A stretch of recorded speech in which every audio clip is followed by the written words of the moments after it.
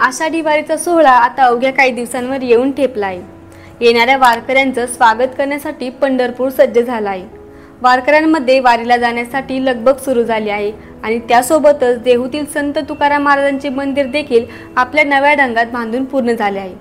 याच देहूत आता इतिहासात नमूद केली जाईल अशी घटना आज घडली आहे.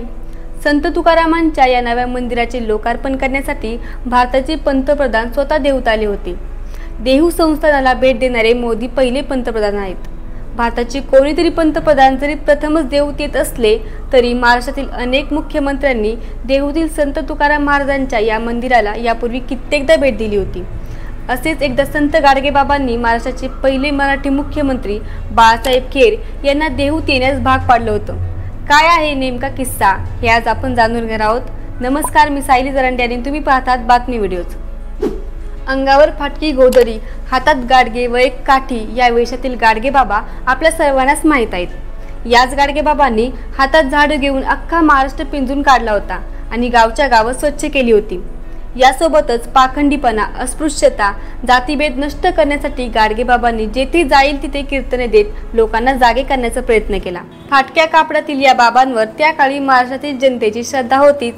महाराष्ट्रातील जनतेसोबतच तत्कालीन मुख्यमंत्री बाळासाहेब खेर हे देखील गाडगेबाबांना खूप मानत होते.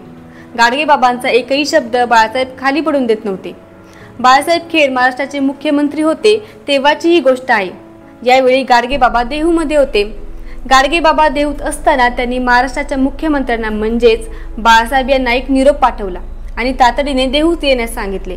बाळासाहेबांना कळेना की नेमकं काय झालं आहे. आता गाडगेबाबांचा निरोप आलाय म्हटल्यावर बाळासाहेब देखील तातडीने देऊला निघाले. त्यावेळी नेमका पावसाळा चालू होता. इंद्रायणी नदी दुथडी भरून वाहत होती. आज देव जेवढं विकसित दिसतंय तेवढं विकसित त्यावेळी नव्हतं. आता मुख्यमंत्री स्वतः येणार म्हटल्यावर सर्व प्रशासनाच्या तातडीने हालचाली सुरू झाल्या. कलेक्टर सर्व बडे पोलीस अधिकारी मुख्यमंत्र्यांसोबत देऊत दाखल झाले.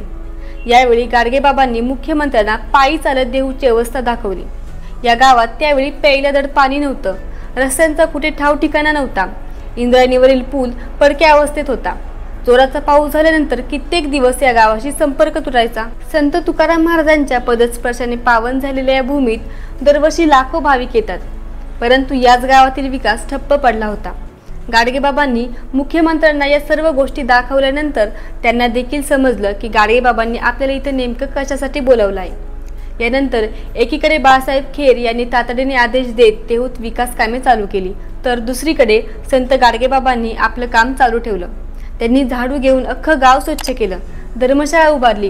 गाडगेबाबांसोबत गावातील कित्येक तरुण जोडले. तुकाराम महाराजांच्या गाथेमुळे आणि कीर्तनामुळे जो भंडारा डोंगर महाराष्ट्रात प्रसिद्ध होता त्या भंडारा डोंगरावर जाण्यासाठी नीट रस्ता देखील नव्हता. परंतु संत गाडगेबाबांनी गावकऱ्यांसोबत मिळून या डोंगराचा नुरस पालटून टाकला. आज देहू एक धार्मिक स्थळ म्हणून देशभर प्रसिद्ध आहे. दरवर्षी लाखो भाविक या ठिकाणी येतात. इंद्रजीच्या काठावर आनंदाने विसावतात आणि भक्तिभावाने तुकाराम महाराजांच्या चरणी लीन होतात.